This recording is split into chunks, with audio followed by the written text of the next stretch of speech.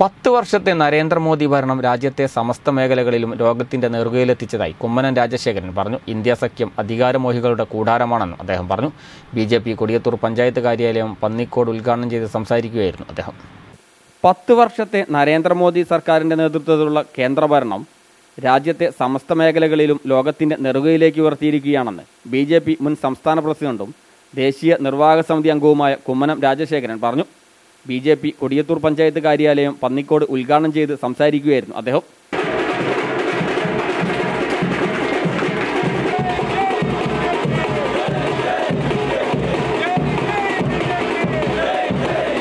അടുത്ത അഞ്ച് വർഷം കൊണ്ട് രാജ്യം മോദിയുടെ നേതൃത്വത്തിൽ ലോകത്തിലെ മൂന്നാമത്തെ സാമ്പത്തിക ശക്തിയായി ഉയരും.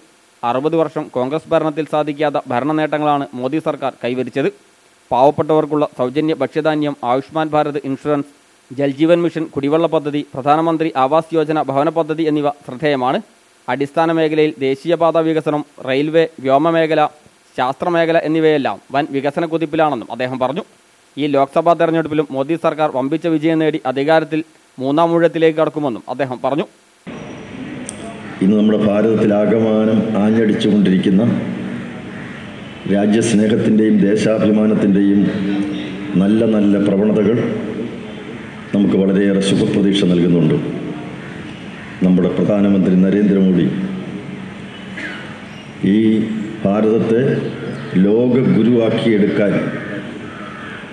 പ്രശസ്തിയുടെയും വളർച്ചയുടെയും വികസനത്തിന്റെയും ശക്തിയുടെയും ഉന്നത ശൃംഗങ്ങളിലേക്ക് കൈക്ക് പിടിച്ചുയർത്തിക്കൊണ്ടുവരാൻ നരേന്ദ്രമോദിക്ക് കഴിയും എന്ന് കാലം തെളിയിച്ചു കഴിഞ്ഞിരിക്കുകയാണ്. വേറെ ആർക്കാ അത് കഴിയുക? ഭാരതത്തെ നയിക്കാൻ ഒരു നേതാവുണ്ട്. ഭാരതീയ ജനതാ പാർട്ടി സംബന്ധിച്ചിടത്തോളം ആശയവും ആദർശവുമാണ് വലുത്. ആശയമാണ് വലുത്. ഇന്ത്യ സഖ്യം അധികാരമോഹികളുടെ ഒരു കൂട്ടായ്മയാണ്. എങ്ങനെയും മോദിയെ പുറത്താക്കി അധികാരം പിടിക്കുക എന്ന ഒറ്റ അജണ്ടയാണ് അവരെ നയിക്കുന്നത്. അവർക്കൊരു നേതാവില്ലെന്നും നെഹ്റു കുടുംബത്തിൽ നഷ്ടപ്പെട്ട അധികാരം തിരികെ നേടിക്കൊടുക്കുകയാണ് അവരുടെ ലക്ഷ്യമെന്നും അദ്ദേഹം പറഞ്ഞു. ചടങ്ങിൽ ബി ജെ പി മുഖം മണ്ഡലം പ്രസിഡന്റ് സി ടി ജയപ്രകാശ് അധ്യക്ഷനായി.